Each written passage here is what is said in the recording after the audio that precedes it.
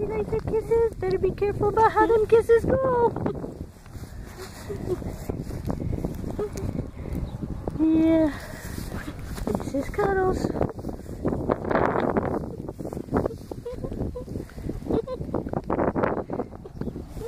You afraid to open your mouth?